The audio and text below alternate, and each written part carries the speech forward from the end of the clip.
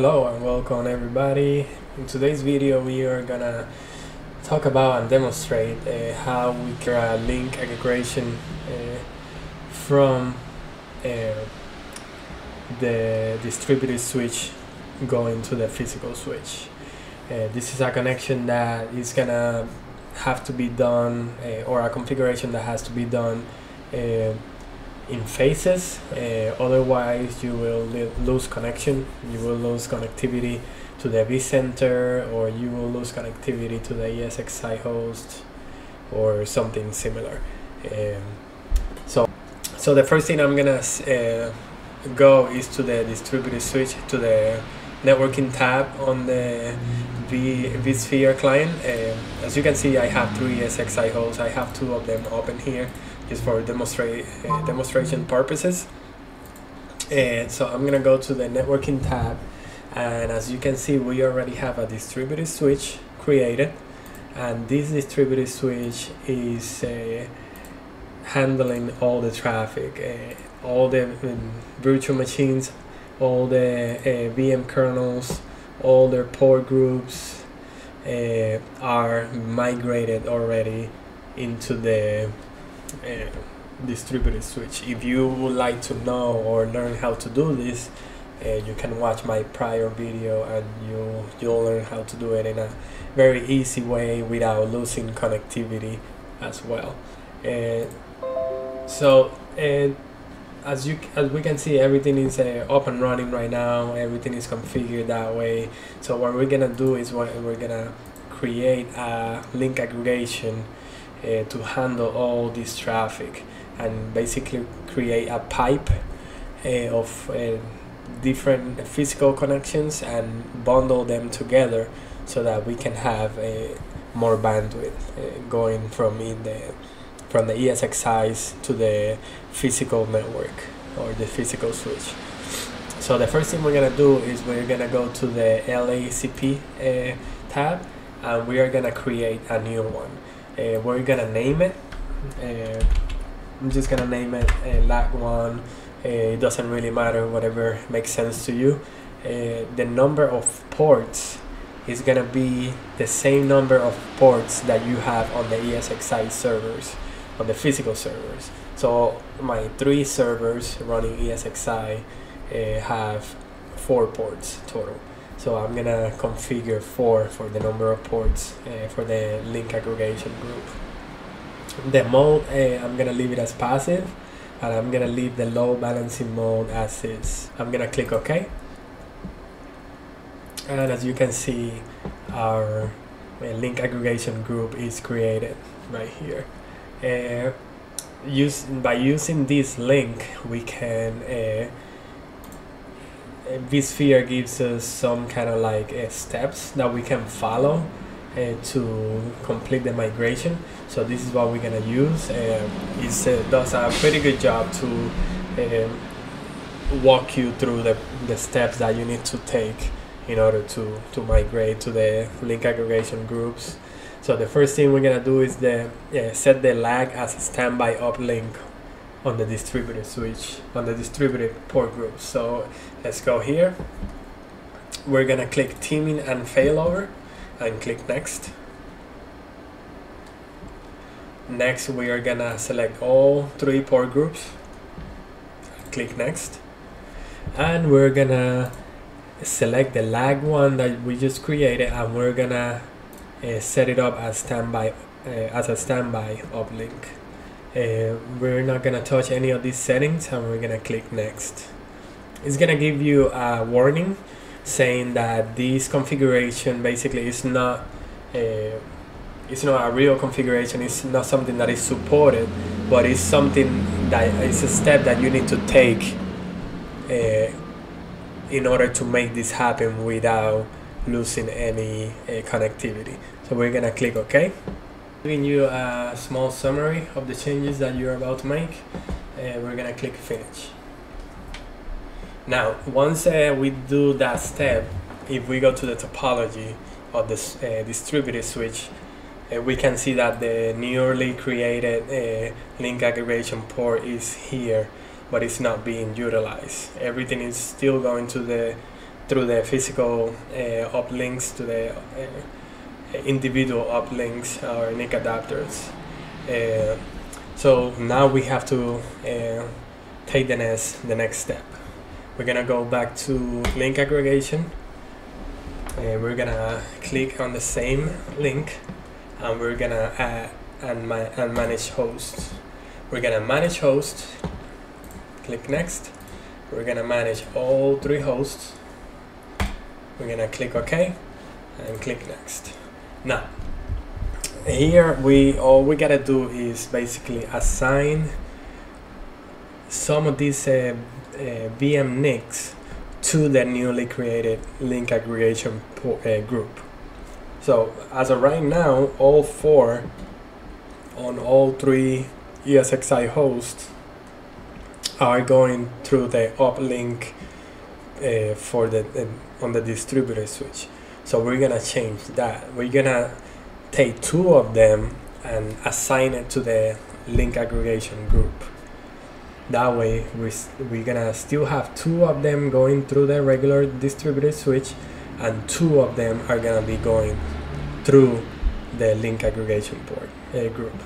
So we, we, we're gonna do three and two, VMNIC two and three on each ESXi uh, host, and we're gonna assign it to the link aggregation group.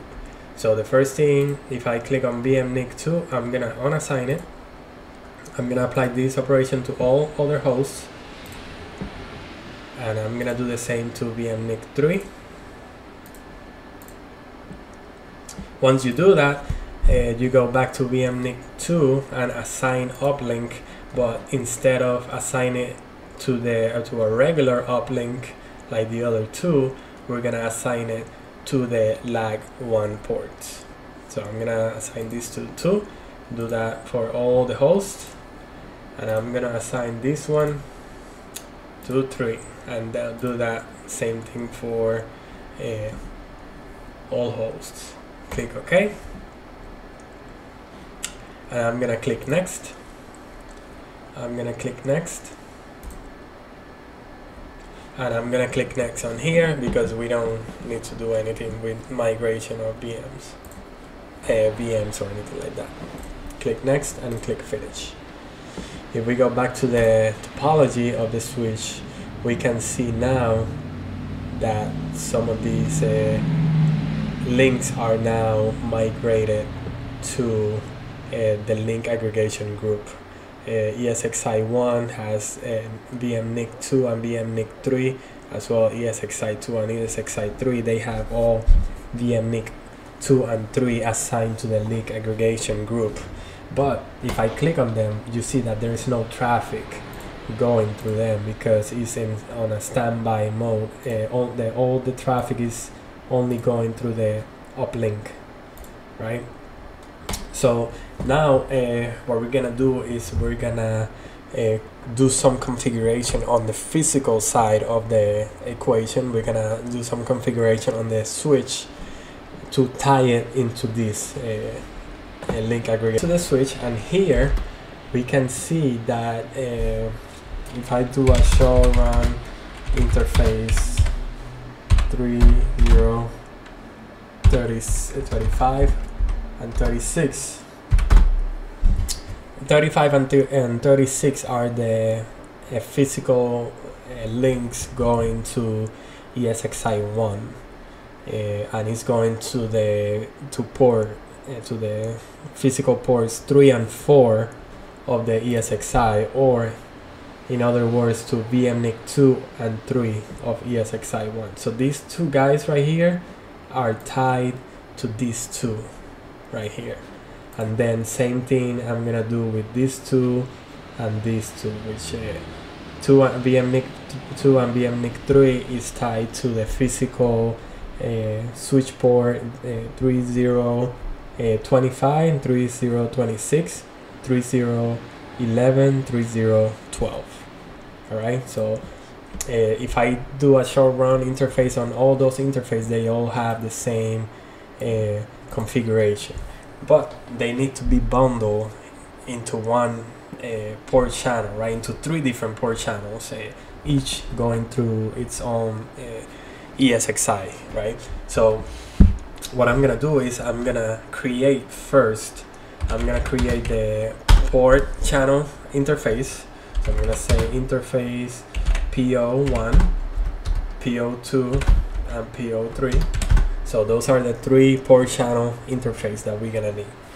And um, we're gonna give you some uh, configuration. So interface uh, PO1, uh, we're gonna configure it just like this. PO2 is gonna be the same. And PO3 is gonna be the same. Alright, so all three interface uh, port channel interface are configured to be a, a trunk, allowing the the VLANs that we need to allow and with an encapsulation of .1q. Uh, so now we need to assign those physical uh, switch ports, right, to those uh, port channel interface that we just created. So what we're gonna do is interface range FA3, 0, 11, and 12. Right? 11 and 12 are here. 11 and 12 going to ESXi3. I'm gonna say channel group 3 because they're going to ESXi3 and I want to keep it in, in a way that I can understand for troubleshooting and things like that. And the mode is gonna be on. Okay? interface range uh, FA 3 0 25 and 26 they are gonna be channel group 2 mode 1 and 35 and 36 are gonna be 1 if I go, I do n and do a show. Ether channel. Summary, we can see that uh, for port channel 1 we have uh, 35 and 36, port channel 2 is 35, uh, 25 and 26, and port channel 3 we have 11 and 12 and they are under a P status which means a bundle in port channel. So that's good. That's why you want to see a P. All right if we go back here, we can see that uh, we still have connectivity to the to the vCenter. We also still have connectivity to the ESXi hosts, right? I can go back here and I have connectivity to all three uh, because even though this port uh, uh, channel in the physical switch and this link aggregation groups on the vCenter switch uh, are already tied to each other, they are on a standby mode, which means no traffic is going through them. Only through here, only through the uplinks is, is where all the traffic is going. Now the next step is gonna be to assign this link aggregation group to be the active uh, the active link to be passing traffic on to pass all the traffic so that's what we're gonna do. We're gonna go here and click on the link. And if we scroll down, I believe, if we go here uh, on number three, for some reason I'm not able to see it, but if you go through manage distributed port groups, it's gonna be the same thing. You're gonna go to teaming and failover. You're gonna go next. You're gonna uh, select all uh, port groups that apply. In my case, it's all three of them. And we are gonna uh, assign the uh, link aggregation group to be the active port. So I'm gonna bring it all the way up and I'm gonna take all the uplinks out of the equation, right? So all of them are unused, only link aggregation group one is gonna be used. So all the traffic is gonna be passed through that. So I'm going to click next and I'm going to click finish. Now if I go to the topology of the switch and I click here, you see that there is no traffic going through them. it's the opposite. Now all the traffic is going through the uh, link aggregation group. See, I'm gonna uh, ex expand this and you can see that all the traffic is going through the link aggregation group.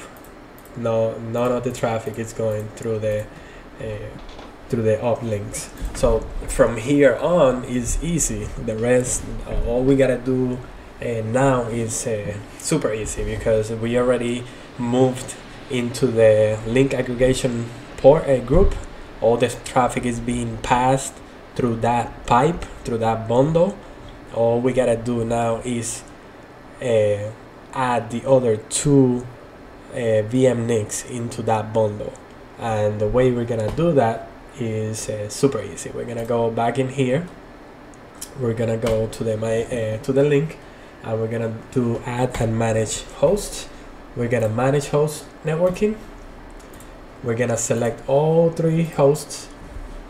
Click next, and as you can see, uh, VMNIC 2 and 3 of each ESXi host is part of the link aggregation group but not 0 and 1 so we're gonna add 0 and 1 to that group all right? So let's select 0 unassign it apply it to all the hosts and 1 unassign it and apply it to all hosts right? And now we're gonna select it again 0 and assign it but instead of assigning it to the up links I'm gonna assign it to the link aggregation group and we're gonna do that for all hosts.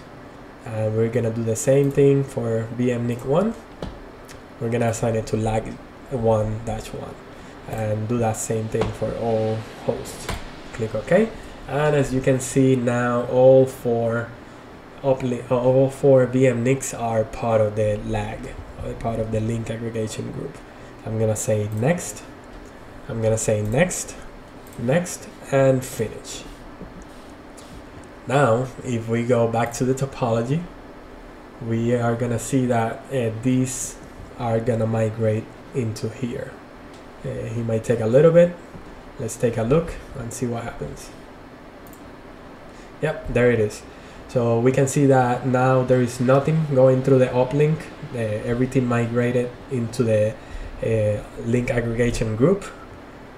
Uh, we have all VM NICs for all three ESXi's as part of the link aggregation group, but 0 and 1 are still not helping much because they on the other side on the switch on the physical switch is still not configured. So that is the last step that we need to take. We need to add those two physical uh, switch ports to each of these port channel uh, interface. So let's do that let's go to com conft I'm gonna do interface FA309 actually I'm gonna do interface uh, range 309 dash 10 and that is 309 uh, 10, 10 is these two VMNIC 0 and VMNIC 1 on ESXi 3. So this is 9, this is 10. So I'm gonna do those two are gonna be channel group 3 mode on. And I'm gonna do the same thing for the other two, which is 25 and 26 are uh, mode uh, group 2 and 35 and 36 are on group 1.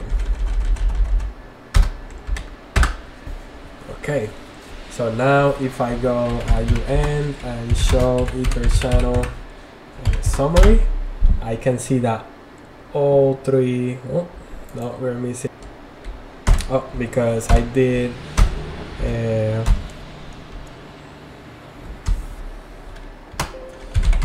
okay, if um, we can see there is now only uh, port channel 3 has four adapters is because I repeated 35 36 25 26 I did the wrong one. So if I go to uh, 25 instead of 25 and 26 is uh, 23 and 24 that's gonna be group 2 and 33 and 34 that is gonna be group 1 and now if I do N and show ether channel summary I can see that I have under port channel 1 I have 33, 34, 35 and 36 which is 33, 34, 35 and 36 23, 24, 25, 26 are these three. So these are the first three these three then and then the last uh, I mean these four these four and then the last four are these four right here. 9 10 11 and 12 are uh, going to be ESXi 3 so now uh, all four links all the four switch ports going to each ESXi are part of the bundle are part of the uh, channel group that is going to the uh, vCenter distributed switch and from there is going to each ESXi host. Uh, as you can see, we didn't not we didn't lose any connectivity. Uh, this is something that you can do uh, without having to uh, shut down any VMs or interrupting any uh, production or anything like that. I hope that you guys enjoyed this video. if you have any questions or you have any comments to, to add or something that I missed, uh, feel free to add it and if you enjoyed it uh, subscribe to the channel i'm